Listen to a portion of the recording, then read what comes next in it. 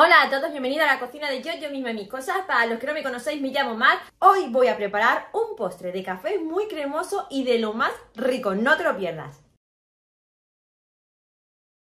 Ingredientes: gelatina neutra, 5 cucharadas soperas de azúcar, son unos 80 gramos, 500 mililitros de nata para montar o crema de leche para batir, es esta la que voy a poner yo, 250 mililitros de café, es una taza y media. Una cucharadita de las de café de esencia de vainilla. Es opcional, pero a mí me gusta mucho el toque que le da. Y caramelo líquidos. Vamos a poner la gelatina a hidratar en agua muy fría. Yo he puesto agua con hielo. Vamos a poner en una olla la nata o la crema de leche para batir. Una, dos, tres, cuatro y 5 cucharadas de azúcar. El café. La cucharada de aroma de vainilla. Vamos a mezclar y vamos a llevar al fuego. Encendemos el fuego a un fuego medio. Yo lo he puesto en el número 6. Y vamos a calentar la leche. Cuando rompa en hervor, sin dejar de remover, apagamos el fuego. En ese momento vamos a añadir la gelatina hidratada y bien escurrida del agua.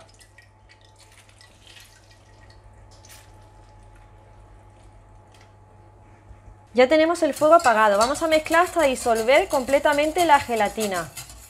Podéis probar por si tuvierais que añadir un poquito más de azúcar, por si os gusta un poquito más dulce. Si tuvierais que añadir un poquito más de azúcar, la añadís también y mezcláis bien para que se disuelva bien. Al estar caliente se va a disolver perfectamente. Caramelizamos el molde. Yo voy a utilizar un molde que mide 20 centímetros de diámetro. Voy a verter la mezcla, pero la voy a pasar por un colador.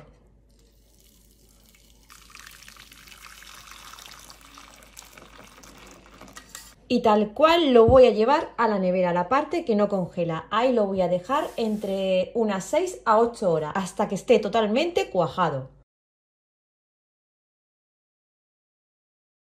Y ya solamente nos queda, yo lo he dejado de un día para otro y ya simplemente nos queda desmoldar. Voy a separar un poquito de las paredes.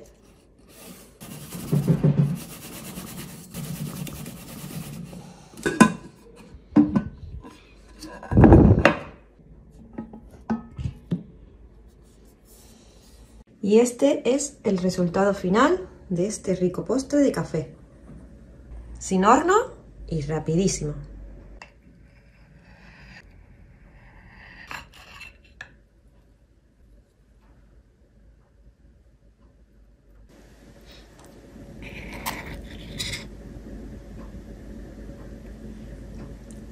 Una idea de postre de café que es una delicia. Queda un sabor muy suave, no es nada intenso.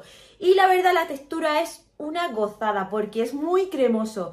Bueno, esa doble textura que se le queda al postre es una maravilla, queda muy vistoso y además lo mejor de todo es lo fácil que es preparar este rico postre de café. Así que no te lo pierdas, anímate a probar porque merece muchísimo la pena. Y ya solamente me queda deciros que si te ha gustado déjame ese like o quédate conmigo y suscríbete a mi canal que yo estaré encantada de que así lo haga. Yo me despido, pero antes os mando muchísimo, pero que muchísimo besos. Nos vemos en la próxima. ¡Chao!